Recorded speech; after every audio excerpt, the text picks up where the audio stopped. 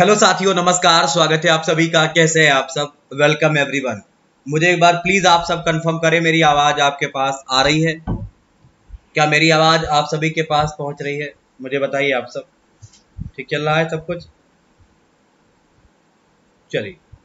अगर क्लियर है तो कहानी को स्टार्ट कर लेते हैं।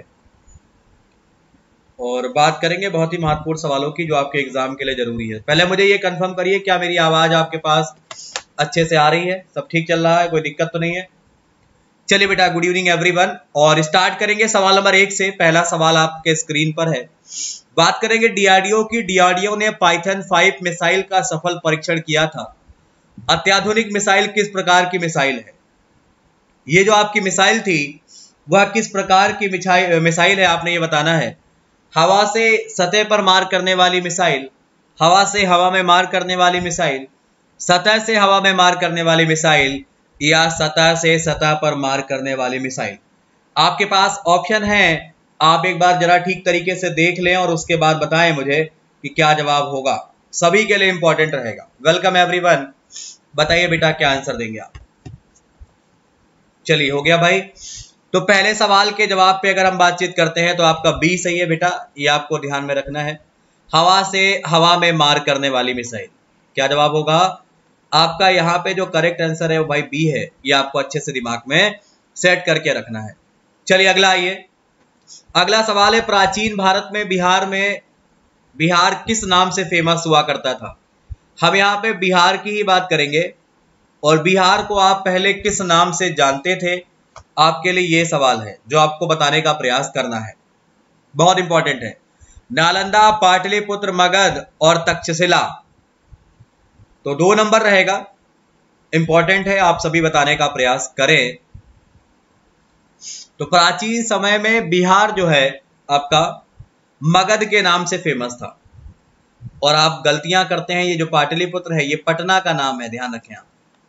जो वर्तमान में पटना है, उसे पहले पाटलिपुत्र कहा जाता था। लेकिन बिहार को मगध बोलते थे। नेक्स्ट आपको बताना है, चैडलर गुड गवर्नेंस इंडेक्स की बात करेंगे, यानी कि सी जी जी आई दो हज़ार इक्कीस में कौन सा देश शीर्ष पर आपको दिखा? ये आपके लिए सवाल नॉर्वे, स्वीडन, फिनलैंड और ग्रीस। सवाल है, कौन सा देश आपको शीर्ष पर दिखा मतलब ऊपर दिखा? नॉर्वे, स्वीडन, फिनलैंड और ग्रीस। तो तीन नंबर सवाल के जवाब पे अगर हम बातचीत करते भी हैं तो आपका आंसर क्या आएगा? आपका आंसर आएगा फिनलैंड। आपको ये अच्छे से याद रखना है। एक सवाल आपको कमेंट करके बताना है, सफ़ेद हाथियों की भूमि आप किसे कहते हैं? या हज़ारों झीलों की भूमि आप किसे कहते हैं? ये आपके लिए सवाल रहेगा। सफ़ेद बहुत इंपॉर्टेंट रहेगा। सफ़ेद हाथियों की भूमि आप किसे कहते हैं? या हज़ारों झीलों की भूमि आप किसे कहते हैं? दोनों के आंसर अलग अलग है, दोनों आपको बताना है।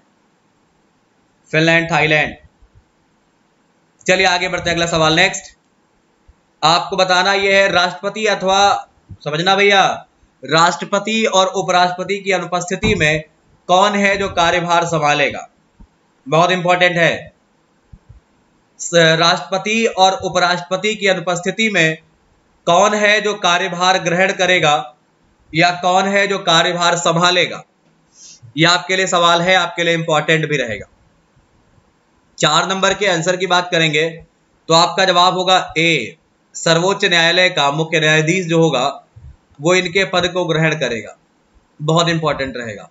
अच्छा राष्ट्रपति आपका किस आर्टिकल में आता है? और उपराष्ट्रपति आपका किस आर्टिकल में आता है? ये दोनों ही सवाल आपको बताने हैं। जल्दी बोलो भाई, फटाफट। राष्ट्रपति आपका आर्टिकल 52 में आता है, और उपराष्ट्रपति आपका जो है, वो आर्टिकल 63 में आता है। ये आपको अच्छे से याद रखने, भूलने नहीं है। दोनों ही इंपॉर्टेंट सवाल रहेंगे। क्लियर है? अगर क्लियर नहीं है तो बेटा ऊपर तीन डॉट बने होंगे। डॉट पर आपको क्लिक करना है। क्लिक करते ही जैसे आप क्वालिटी पे आएँगे क्वालिटी के बाद आपको एडवांस करके उसकी क्वालिटी को सेवन ट्वेंटी कर लेना है। आपका अपने आप से बढ़ जाएगा। समझ गए आप? चलिए नेक्स्ट आइए।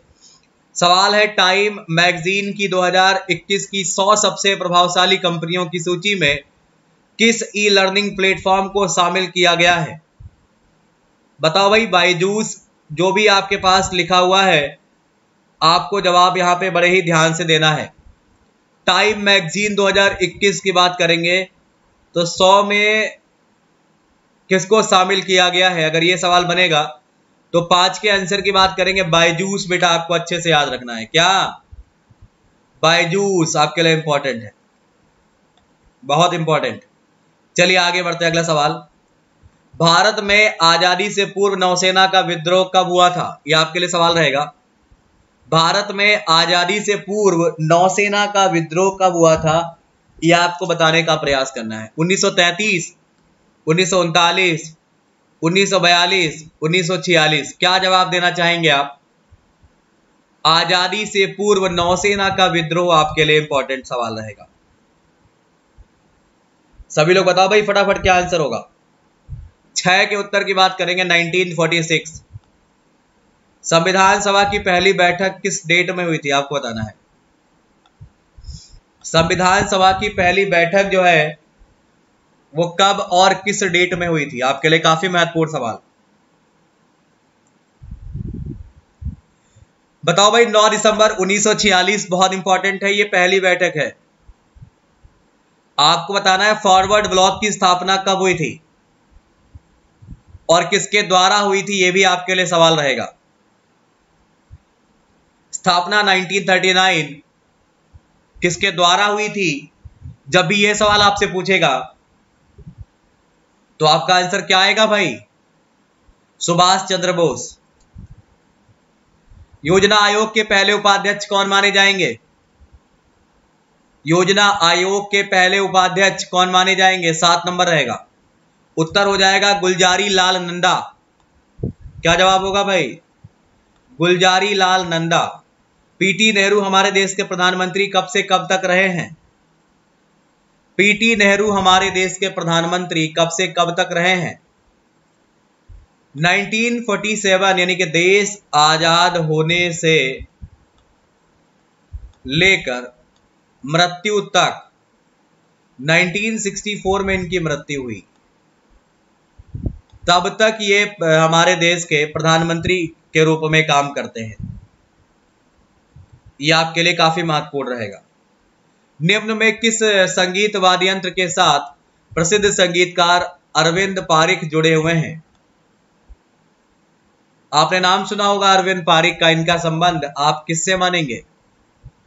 इंपॉर्टेंट रहेगा, सितार, गिटार, बांसुरी या तबला?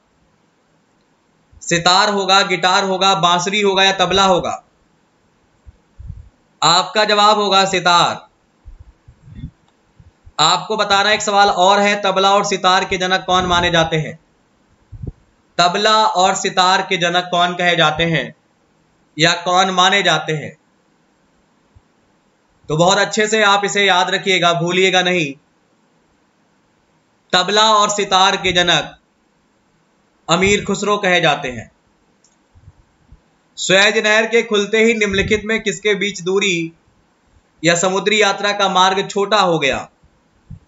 स्वैज नहर के खुलते ही निम्नलिखित में किसके बीच की समुद्री यात्रा का मार्ग जो है, वो छोटा हो गया? London, Chennai New York London. London, Paris, London और केप ऑफ़ गुड होप क्या आंसर देंगे आप? नौ नंबर। तो ये आपके लिए काफ़ी महत्वपूर्ण रहेगा और यहाँ पे आपका जो उत्तर रहेगा वो लंदन और चेन्नई सही है आपको लंदन और चेन्नई दिमाग में अच्छे से सेट करके रखना है, भूलना नहीं है। राजस्थान की सीमा कितने राज्यों की सीमा को स्पर्श करती है? आपकी जो राजस्थान की सीमा है, वह कितने राज्यों की सीमाओं को स्पर्श करेगी? दस नंबर रहेगा, बेहद महत्वपूर्ण सवाल है। तो राजस्थान की सीमा पाँच राज्यों को स्पर्श करेगी भाई? कितने? पाँच। मुंबई इंडियंस ने आईपीएल के खिताब कितनी बार अपने नाम किए हैं? मुंबई इंडियंस ने आईपीएल के खिताब कितनी बार अपने नाम किए हैं? पाँच बार किए हैं भाई, याद रखिएगा, कई बार आपसे पूछा गया और पाँचों बार कप्तान थे रोहित शर्मा। रोहित शर्मा, और ये समय था 2013 का, और ये समय था 2015 का, और ये समय था 2017 का, और ये समय था 19 का 2019 का। और ये समय है 2021 का। सॉरी 20 का। जब ये पाँच बार इन्होंने ये खिताब जीता है, आप इसे याद रखिएगा। चलिए आगे बढ़ेंगे, अगला सवाल। वर्धमान महावीर किस गणतंत्र में से थे, आपको बताना है। भगवान महावीर के विषय में बात करेंगे। किस गणतंत्र से संबंधित थे? महावीर का मूल नाम वर्धमान ही था। तो वर्धमान महावीर कहिए या भगवान महावीर कहिए, बात एक ही है। उत्तर की बात करेंगे, लिच्छवी यहाँ पे आपका सही है। भगवान महावीर कौन से नंबर के तीर्थंकर माने जाते हैं? ये जो आपके भगवान महावीर हैं, ये कौन से नंबर के तीर्थंकर कहे जाते हैं? तो चौबीसवें नंबर के तीर्थंकर कहे जाते हैं। या आप ये कहिए लास्ट नंबर के तीर्थंकर भी यही कहे जाते हैं। ठीक है भाई तो आपको ये भी ध्यान में रखना है। सामवेद का उपवेद गंधर्व वेद का रचयिता कौन है? सामवेद के उपवेद गंधर्व वेद के रचयिता कौन है? धनवंतरी विश्वामित्र, भरत मुनि विश्वकर्मा। ये आपको बताना है भाई, क्या उत्तर देंगे आप? सामवेद का उपवेद गंधर्व वेद के रचयिता बताइए बेटा। उत्तर की बात करेंगे, भरत मुनि का नाम आपने सुना होगा, बहुत इंपॉर्टेंट है आपके लिए।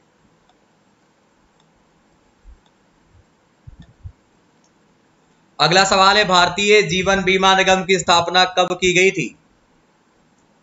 भारतीय जीवन बीमा निगम की स्थापना जो है, वह कब की गई थी? सितंबर 1956 सितंबर उन्नीस सितंबर 1965 सितंबर 1950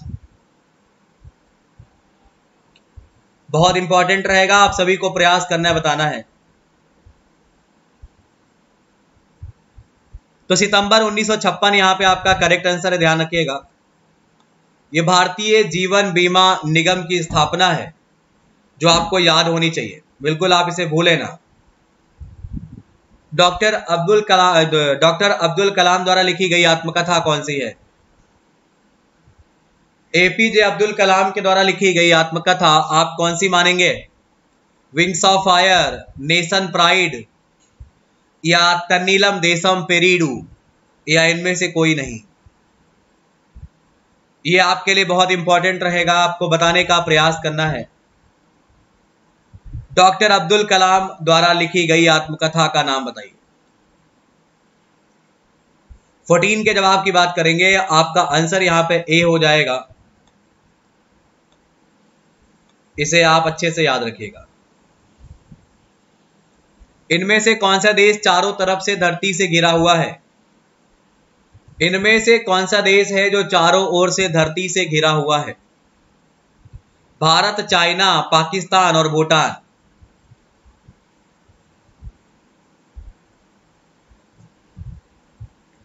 इनमें से कौन सा देश है जो चारों ओर से धरती से घिरा हुआ है? तो 15 के आंसर की बात करेंगे। भूटान, भाई, ध्यान रखेंगे आप। भारत का न्यूनतम जनसंख्या घनत्व वाला राज्य कौन सा माना जाता है? 16 भारत में न्यूनतम, यानी कम से कम, जनसंख्या घनत्व वाला राज्य कौन सा कहा जाता है? या कौन सा माना जाता है? तो याद रखिएगा, आपका उत्तर यहाँ पे अरुणाचल प्रदेश सही है। क्या सही होगा? अरुणाचल प्रदेश, आपका जवाब यहाँ पे सही है और ये आपको याद भी रखना है। निम्नलिखित में किस स्थान पर राष्ट्रीय न्यायिक अकादमी स्थित है? किस स्थान पर आप राष्ट्रीय न्यायिक अकादमी स्थित देखते हैं? पुणे होगा, दिल्ली होगा, जयपुर होगा, भोपाल होगा। काफ़ी इंपॉर्टेंट सवाल रहेगा, बताना है आपको कि निम्नलिखित में किस स्थान पर राष्ट्रीय न्यायिक अकादमी आप देखते हैं? पुणे, दिल्ली, जयपुर और भोपाल। सत्रह नंबर सवाल है सेवनटीन जवाब की बात किया जाए तो आपका भोपाल करेक्ट है। पिंक सिटी आप किसे कहते हो बताइए। पिंक सिटी आप जयपुर को कहते हैं गुलाबी नगरी। दिल्ली आपका किस नदी के किनारे है बताइए।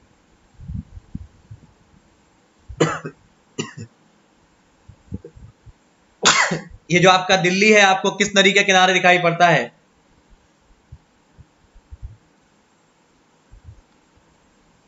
तो यहाँ पे आपको याद रखना, दिल्ली जो आपका है, वो आपको यमुना के किनारे दिखाई पड़ता है।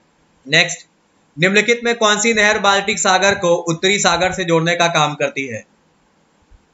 इनमें से कौन सी नहर है जो बाल्टिक सागर को उत्तरी सागर से जोड़ने का काम करती है? इंपॉर्टेंट रहेगा आपके लिए। 18 के जवाब की बात करेंगे, आपका सही हो जाएगा। सी मतलब कील, आपको याद रखना है। यह आपके लिए काफ़ी महत्वपूर्ण भी है। और कई बार पूछा भी गया है, स्वेज नहर को बनने में कितने साल लगे और कब से कब तक ये बनी? तो स्वेज नहर को बनने में 10 साल का समय लगा। टेन ईयर आपको बताना है कब से लेकर कब तक ये बनी?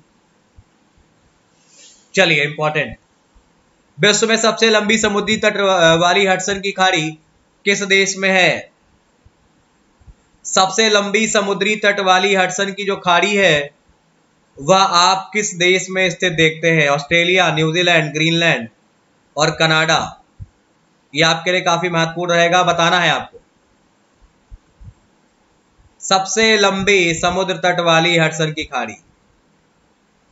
चलिए 19 के आंसर की अगर बातचीत यहाँ पे अगर हम करेंगे भी, बहुत इंपॉर्टेंट रहेगा आपके लिए, उत्तर हो जाएगा डी, कनाडा। कनाडा क्षेत्रफल के आधार पर कौन से स्थान पे आता है? कनाडा क्षेत्रफल के क्रम में कौन से स्थान पर आता है, आपने बताना है। बहुत इंपॉर्टेंट रहेगा आपके लिए। बिल्कुल सेकंड पे आता है। विश्व वन दिवस कब मनाया जाता है, आपके लिए सवाल रहेगा। विश्व वन दिवस कब मनाया जाता है, ये आपके लिए सवाल है, आपको बताने का प्रयास करना है। बहुत इंपॉर्टेंट रहेगा। 20 नंबर के जवाब की अगर बात करेंगे भाई तो ये आपका 21 मार्च में होता है 21 मार्च। आप पुरुष दिवस कब मनाते हैं? हमारे यहाँ पे पुरुष दिवस कब मनाया जाता है, बताइए। पुरुष दिवस आप कब मनाते हैं? बहुत इंपॉर्टेंट 19 नवंबर को मनाते हैं। आप शौचालय दिवस कब मनाते हो भाई? बताइए कि आप शौचालय दिवस कब मनाते हैं? कमेंट करके बताइए आप पृथ्वी दिवस कब मनाते हैं? शौचालय भी 19 नवंबर ही होगा। आपको बताना यह है कि आप पृथ्वी दिवस कब मनाते हैं? और एक और सवाल बताइए, आप जल दिवस कब मनाते हैं? गुड इवनिंग एवरीवन ये नीचे कमेंट बॉक्स में आपको ज़रूर लिखना होता है। किस महासागर में द्वीपों की संख्या सर्वाधिक मानी जाती है? किस महासागर में द्वीपों की संख्या आप सबसे ज़्यादा मानते हैं? ट्वेंटी वन नंबर रहेगा इंपॉर्टेंट है। तो भैया याद रखिएगा, प्रशांत महासागर में सबसे ज़्यादा द्वीप है। और प्रशांत महासागर में द्वीपों की संख्या आप सबसे ज़्यादा मानते हैं। सिंधु घाटी सभ्यता का नवीनतम स्थल आप इनमें से कौन सा मान सकते हैं?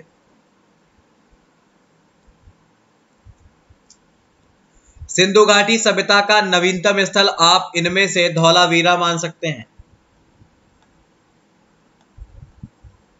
यह आपके लिए काफ़ी इंपॉर्टेंट है, आपको याद भी रखना है। बैंक ऑफ़ बड़ौदा की स्थापना कब की मानी जाती है?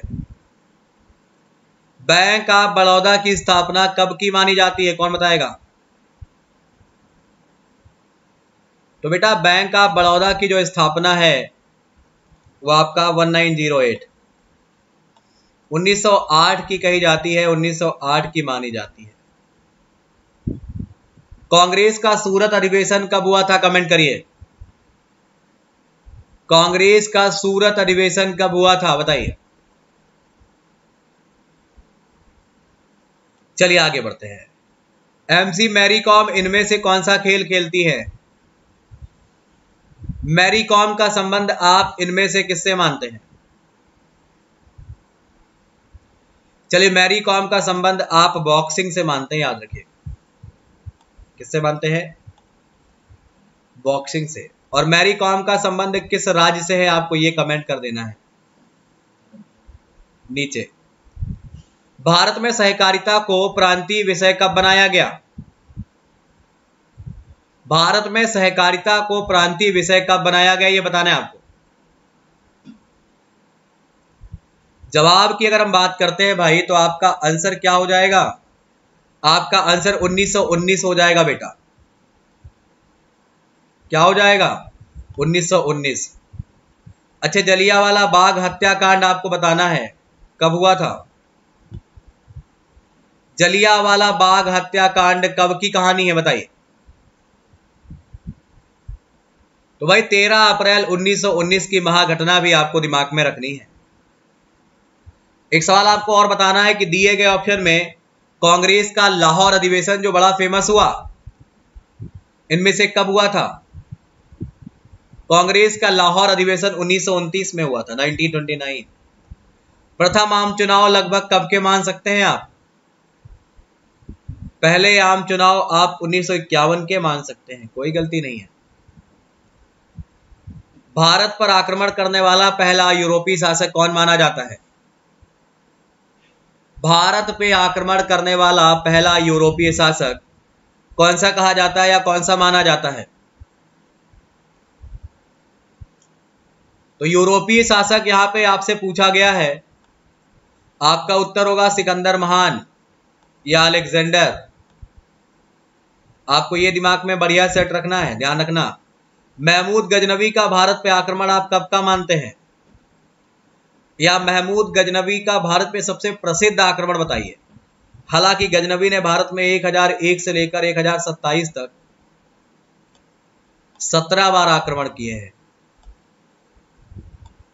लेकिन सबसे फ़ेमस आक्रमण इनका 1900 1025 वाला माना जाता है। जब ये सोमनाथ मंदिर को लूट ले जाते हैं। ये इनका सबसे फ़ेमस आक्रमण है। निम्नलिखित में किसने महिला आर्य समाज की स्थापना पुणे में करी? निम्नलिखित में किस महिला ने आर्य समाज की स्थापना पुणे में करी? उत्तर की बात करेंगे, उत्तर हो जाएगा पंडित रमाबाई।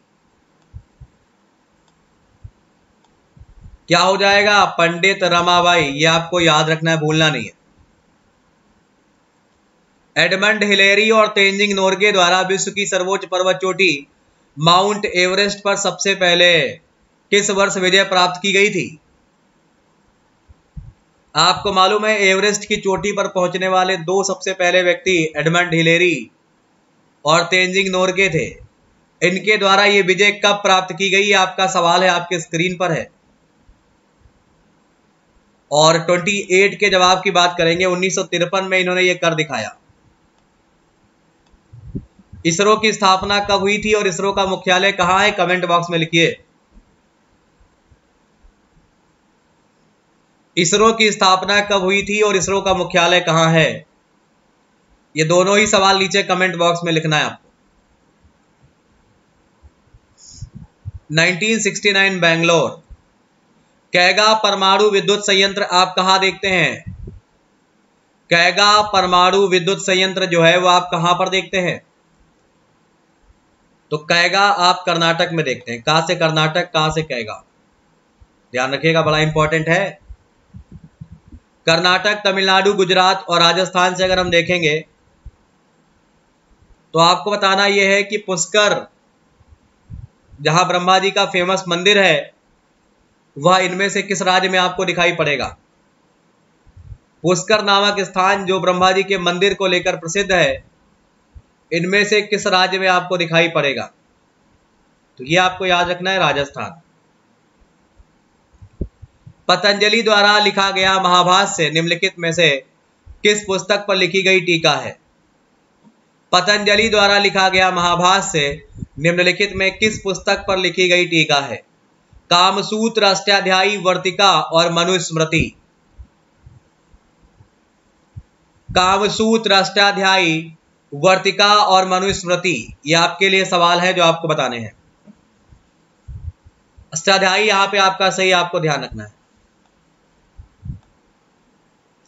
स्वामी केशवानंद भारती का सितंबर 2020 में निधन हो गया था।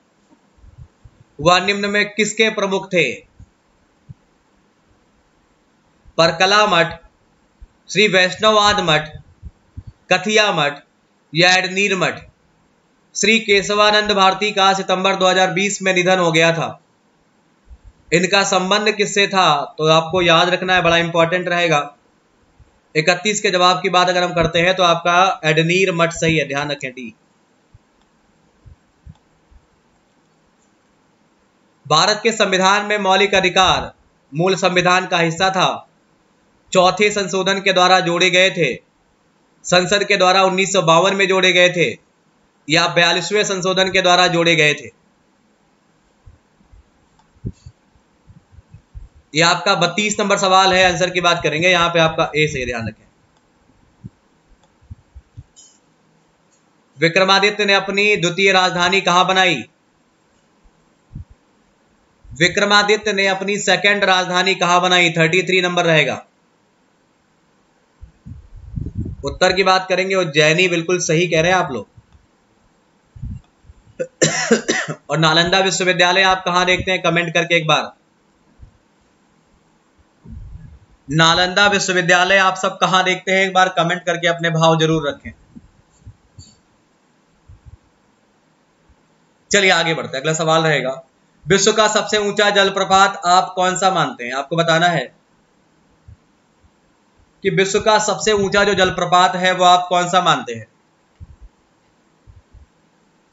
तो ये भी आपको याद रखना है, थर्टी फोर के जवाब की बात किया जाए तो आपका एंजिल जलप्रपात सही उत्तर होगा यहाँ पे। और ये आपका विश्व का सबसे ऊँचा है। उत्तर पूर्वी सीमांत रेलवे का मुख्यालय आपने बताना है कि कहाँ पे है? उत्तर पूर्वी सीमांत रेलवे का मुख्यालय आपसे अगर पूछेगा कहाँ पे है तो आप क्या आंसर करेंगे? बिलासपुर, कोलकाता, मालीगांव या फिर गोरखपुर। ये आपके लिए बहुत इंपॉर्टेंट रहेगा। थर्टी फाइव नंबर सवाल रहेगा। सभी लोग बताने का प्रयास करिए। तो मालीगांव आपका उत्तर यहाँ पे बिल्कुल सही है, बिल्कुल करेक्ट है, आपको याद रखना है। अच्छा भारत का टॉलीवुड किसे कहा जाता है बच्चों? भारत का टॉलीवुड किसे कहा जाता है बताइए। बहुत इंपॉर्टेंट रहेगा। बिल्कुल मान लिया जाएगा आपकी बात। आसवान बाँध किस नदी पर स्थित है बताइए। ये जो आपका आसवान बाँध है, वह किस नदी पर स्थित है बताइए थर्टी सिक्स उत्तर आपका यहाँ पे देखा जाए तो भैया नील नदी करेक्ट है। क्या होगा? नील नदी संसार की सबसे लंबी नदी है। इसकी लंबाई साढ़े छाछठ सौ किलोमीटर है। Six six, five, zero kilometre approx भारतीय संविधान की प्रारूप समिति के अध्यक्ष कौन थे? भारतीय संविधान प्रारूप समिति के अध्यक्ष कौन थे? Doctor Bhimrao Ambedkar, doctor Rajendra Prasad Acharya Kripalani, Acharya Narendra Dev. Thirty seven के जवाब की अगर हम बातचीत करेंगे तो आपका ए सही हो जाएगा भाई।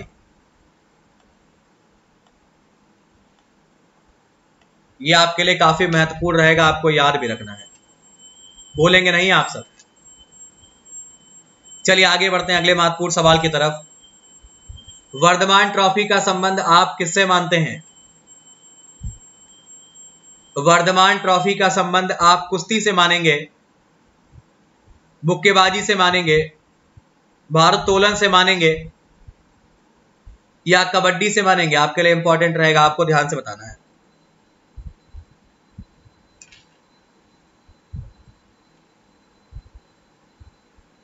तो भाई, वर्धमान ट्रॉफी का जो संबंध है, आप सभी को बताने का प्रयास करना है, भारत तोलन से मानेंगे आप। किससे मानेंगे? भारत तोलन से मानेंगे। चलो भाई, आपने बताना है कबड्डी में खिलाड़ियों की संख्या कितनी होती है? सवाल है आपके लिए। कबड्डी से कबड्डी में खिलाड़ियों की संख्या कितनी होती है? तो याद रखिएगा, कबड्डी में खिलाड़ियों की संख्या सात होती है। और कबड्डी का जो गेम है, वह कितने मिनट का होता है, आपको बताना है। कबड्डी का जो गेम है, वह कितने मिनट का होता है, आपको बताना है।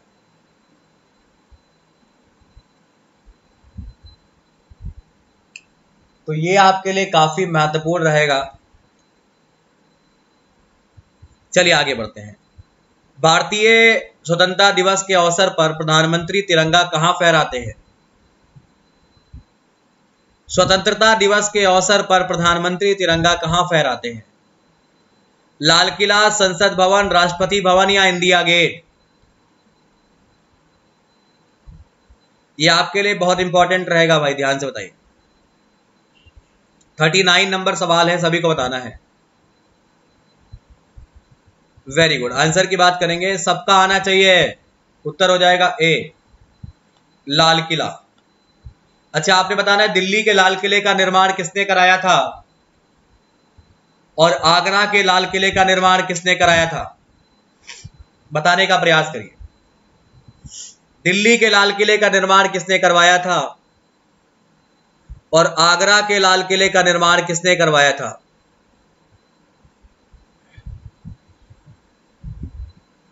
ये दोनों ही आपको याद रखने हैं। शाहजहां, दिल्ली, आगरा, अकबर। राज्य की आकस्मिकता निधि किसके द्वारा संचालित की जाती है? भारत के प्रधानमंत्री, मुख्यमंत्री, भारत के राष्ट्रपति या राज्य के राज्यपाल? क्या जवाब होगा? आकस्मिकता निधि के बारे में बात करेंगे भारत के राज्यपाल के द्वारा। देश का प्रथम नागरिक कौन होता है बताइए। देश का जो पहला नागरिक है, वो राष्ट्रपति होता है। तीनों सेनाओं का सेनापति, राष्ट्रपति होता है। भारत का पहला उपग्रह आर्यभट्ट कब छोड़ा गया था? भारत का पहला उपग्रह जिसको आप आर्यभट्ट कहते हैं, ये कब छोड़ा गया था? उन्नीस सौ बहत्तर, चौहत्तर, पचहत्तर, सत्तर? फोर्टी वन नंबर सवाल रहेगा। तो आपको यह भी अच्छे से याद रखना है, आर्यभट्ट 1975 में। कब? 1975 में आपके लिए बहुत बहुत इंपॉर्टेंट रहेगा ये भी। सूर्यास्त का नियम किस भूमि व्यवस्था से संबंधित माना जाएगा? आपका जो सूर्यास्त का नियम होगा, वह किस भूमि व्यवस्था से संबंधित कहा जाएगा या माना जाएगा? तो ये आपका 42 नंबर सवाल रहेगा, आप सभी को बताना है। उत्तर हो जाएगा स्थायी बंदोबस्त बेटा। क्या हो जाएगा? स्थायी बंदोबस्त इंपॉर्टेंट रहेगा। खजुराहो का प्रसिद्ध कनरिया महादेव मंदिर किसके द्वारा बनवाया गया था? खजुराहो का प्रसिद्ध कनरिया महादेव मंदिर जो है, वह किसके द्वारा बनवाया गया था? जय शक्ति नरसिंह वर्मन, विद्याधर, जो भी है बताइए 43 नंबर सवाल। उत्तर की बात करेंगे, यहाँ पे आपका आंसर हो जाएगा, विद्याधर, आपको याद रखना है।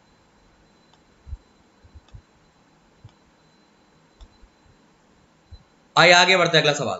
निम्नलिखित में किस पर्वतमाला को सह्याद्री के नाम से जाना जाता है?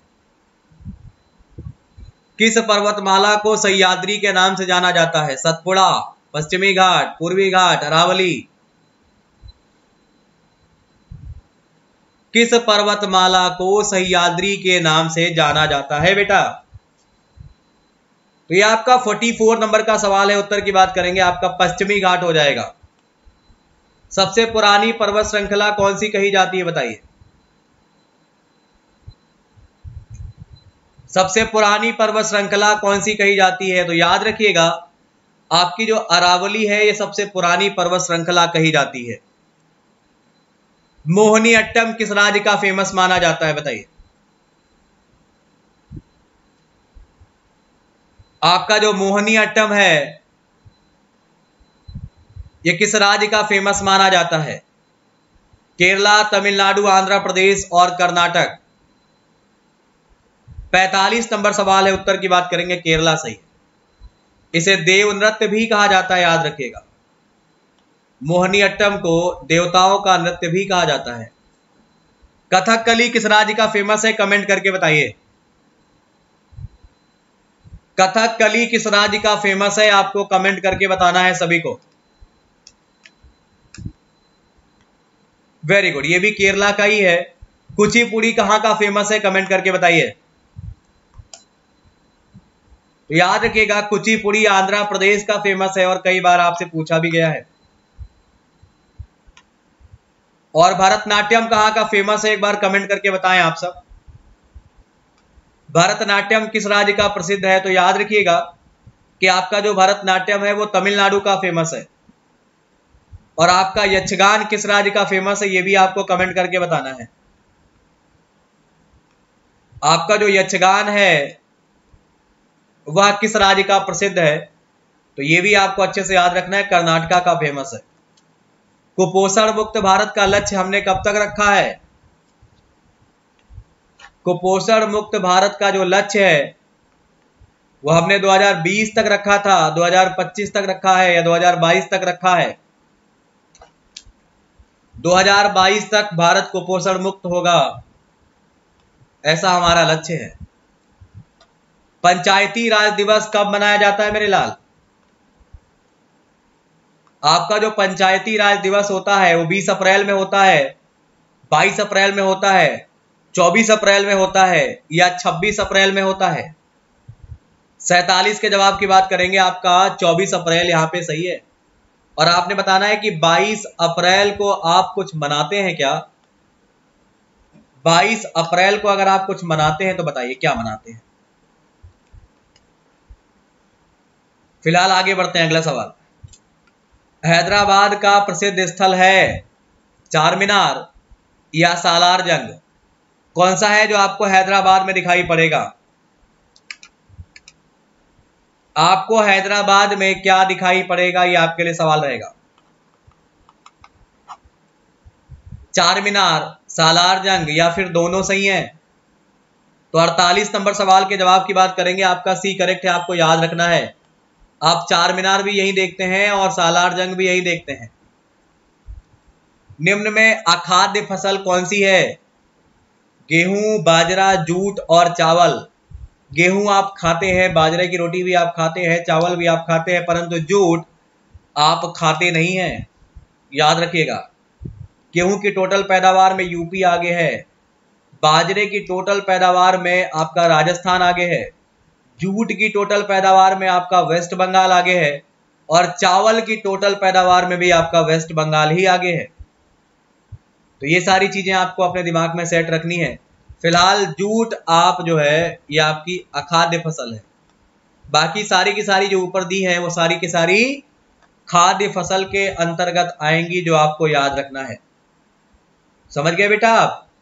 चलिए आगे बढ़ते हैं और अपने आखिरी सवाल के साथ विराम लेते हैं। एराविकुलम राष्ट्रीय उद्यान आप कहाँ पर देखते हैं? एराविकुलम राष्ट्रीय उद्यान जो है, वो आप कहाँ पर देखते हैं? पचास नंबर का सवाल रहेगा, उत्तर की बात अगर हम करेंगे तो आपका ए हो जाएगा केरला।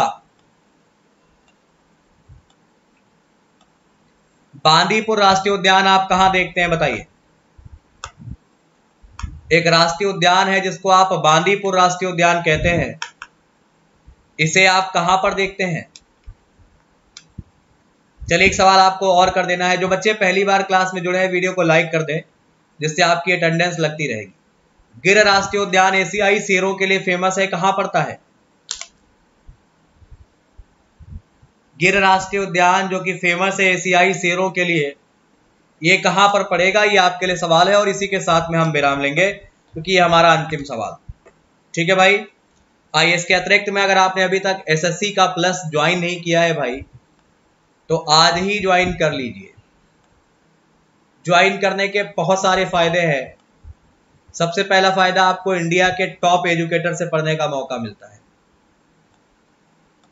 जो भी यहाँ पे आपको टॉप एजुकेटर पढ़ा रहे हैं, आप उनसे पढ़ पाते हैं और अपनी तैयारी को अच्छा कर पाते हैं। उनके जो भी बैच चल रहे हैं, आप उन्हें ज्वाइन कर पाते हैं। जो भी बैच आने वाले हैं, आप उन्हें ज्वाइन कर पाते हैं। और जो भी बैच पूरे हो चुके हैं, आप उन्हें भी ज्वाइन कर पाते हैं। तो बहुत सारे लाभ हैं अगर आप अन अकेडमी प्लस ज्वाइन करते हैं एसएससी प्लस ज्वाइन करते हैं तो आपके हित में है। यहाँ पर आप अपने डाउट को खुद से क्लियर कर सकते हैं। जिस सवाल में डाउट है, उसका फ़ोटो क्लिक करना है और यहाँ से आप अपने डाउट को क्लियर कर पाएँगे। तो ये भी आपके लिए अच्छा है। आप चाहें तो ये कदम भी उठा सकते हैं। रेज हैंड नामक एक नया फीचर ऐड हुआ है, जिसमें आप क्या कर सकते हैं? अपने फेवरेट एजुकेटर से बातचीत कर सकते हैं। समझ रहे हैं आप सब? और ये आपके बहुत सारे ऑफर्स हैं। अगर आप 24 मंथ का प्लस एक साथ में लेंगे तो आपको आठ महीने और एक्स्ट्रा मिलेगा। अगर आप छह महीने का प्लस लेते हैं तो आपको दो महीने और एक्स्ट्रा मिलेगा। अगर आप बारह महीने का प्लस लेते हैं तो आपको चार महीने और एक्स्ट्रा मिलेगा। तो ये बहुत सारे बेनिफिट है आपके लिए। अभी प्रयोग करें और लाभ उठाएँ। एसएससी का जो कॉम्बेट होता है, वो संडे में 12 बजे होता है। हर संडे 12 पीएम पे होता है। तो इसमें भी अगर आपकी रैंक अच्छी आती है तो आप स्कॉलरशिप जीत सकते हैं। और ये आपके प्लस के नॉर्मल से चार्ज है जिनको आपको, यहाँ पे मेरा कोड आप अप्लाई करोगे Deepak Singh Y T ten और प्रोसीड कर जाएँगे, जिससे आप प्लस ज्वाइन कर सकते हैं। मैं रेलवे में प्लस पे पढ़ाता हूँ, अगर आप चाहें तो रेलवे प्लस ज्वाइन कर सकते हैं, वहाँ पर आपको हमारी डिटेल क्लास करने को मिलेगी। तो ये सब आपके हित में है। फ़िलहाल के लिए इतना ही रखेंगे, बाकी मुलाकात करेंगे हम आपसे बहुत जल्द। अपने अगले क्लास में आज के लिए इतना ही। धन्यवाद नमस्कार बाय बाय